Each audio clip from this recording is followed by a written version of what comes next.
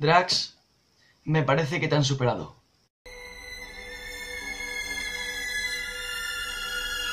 Bueno, yo soy 11, Charlie 11, y os comentar la película de El hombre invisible, The Invisible Man.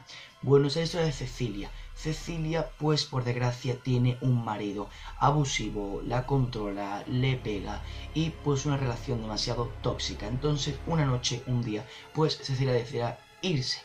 Lo que pasa que Adrian no se lo tomará muy bien y pues se acabará suicidando. Pero el problema es que Adrian no se ha ido ha encontrado la manera de seguir haciéndole la vida imposible a Cecilia. Entonces resulta que se habrá convertido en un hombre invisible. Entonces Cecilia tendrá que averiguar que Adrián ha vuelto y acabar con este tormento. Bueno, para mí El hombre invisible es una película que yo realmente tenía demasiadas ganas de ver tenía de verdad el hype por las nubes. Es el mismo director de la película de Upgrade y pues Upgrade es gloria pura y realmente sentí, pese a que estaba ganas de verla, sentí miedo. Dije, ay, nos la van a liar aquí, parda, van a hacer cosas mal y realmente sentí miedo. Y pues todos esos miedos se quitaron con los primeros tres minutos, con los primeros cinco minutos con esa escena que es gloria pura. Esto, amigos, es un pedazo de película. Es muy, muy buena película. Empecemos con los personajes. Cecilia como protagonista. Elizabeth Moss, gran, gran, pero gran actuación. Me pareció una actriz bastante buena, muy sólida realmente, que es, me la creo cuando la veo mal, cuando la veo sentirse sola. Y es que esta actriz lo que hace para mí es de verdad genial transmitirte lo que te quiere transmitir en el sentimiento solo con su cara. Es una actriz que vimos en la película de nosotros como un papel secundario y pues ahí ya se nos mostró mínimamente que era medianamente buena actriz, pero aquí ya sacada bestial. Eh, Adrian como el novio lo tenemos muy poco tiempo en pantalla, pero para mí viene uno de los fallos que comete la película, y es que me hubiese gustado ver 10 minutos más, 15 minutos más de película si nos hubiesen mostrado a Adrian como siendo el marido abusivo que siempre se está diciendo. Porque al no verlo, o sea, me lo creo porque Cecilia lo dice, porque Cecilia lo dice, porque es verdad, pero me hubiese gustado ver cómo la maltrata, cómo la obliga, cómo es una relación tóxica, para yo decir en plan, joder, este hombre es un hombre malo, veo bien que o sea que sigo viendo bien que Cecilia se haya ido, pero me hubiese gustado ver más un poco de él. En el tiempo lo tenemos en pantalla, no me parece un gran actor, la verdad. Mm, sobre todo en el final. Pero bueno, después tenemos a Emily, que es la hermana de ella. Tiene para mí la grandiosa, una de las grandiosas escenas de la película. Ya sabéis cuando lo digo en un bar, en un restaurante. Pedazo de escena se marcaron.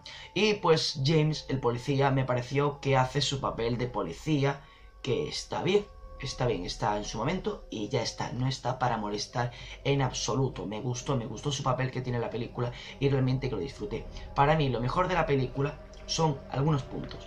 El primero es la música.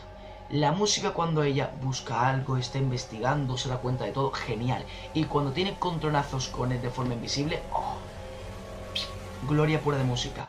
Y cuando ella, lo mismo volvemos aquí, cuando ella lo busca, se da cuenta de que a lo mejor hay alguien aquí, que a lo mejor no está muerto de verdad, espectacular, o sea, espectacular y me gustó mucho cómo es verdad que Adrian le sigue haciendo la vida imposible, ya que vemos cómo ella sabe que hay alguien más aquí, que Adrian le está viendo, que Adrian le está persiguiendo, y aún así vemos cómo ella, como nadie le va a creer, como es normal, se siente débil, o sea, se siente sola, pese a que supone que la persona que le hacía sentirse así ya ha muerto, ya no está entre nosotros, y es un sentimiento que realmente te, te por lo menos a mí me dio un cosquillo decir en plan, joder, pobre mujer, pese a que es una película, sufro por ella, lo paso mal por ella y realmente que es algo que se valora demasiado.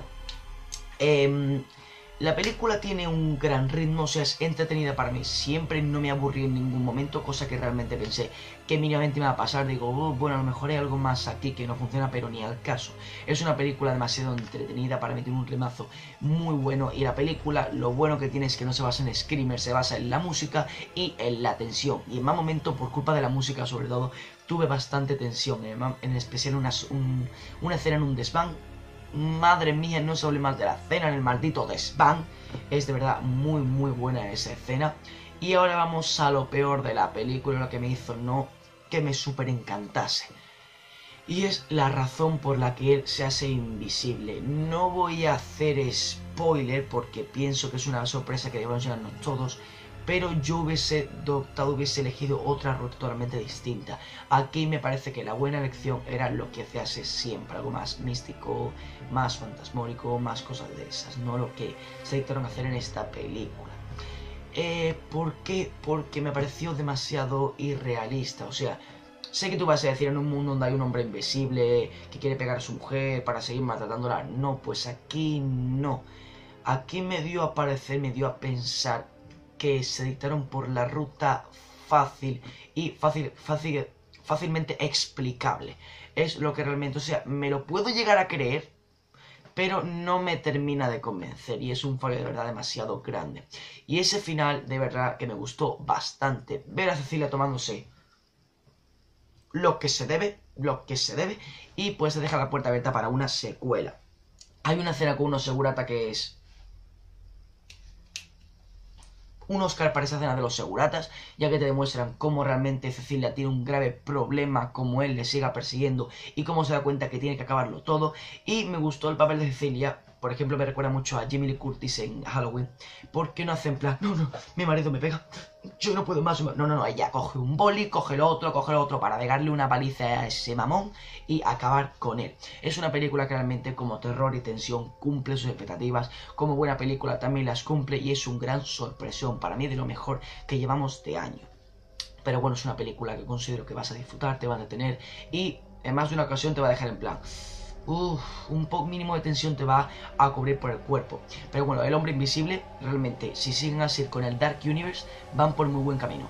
Calificación final para el hombre invisible es un 7.7. Pero bueno, la nota, si te lo has visto como se me queda aquí abajo en la descripción, puede ser que te ha parecido.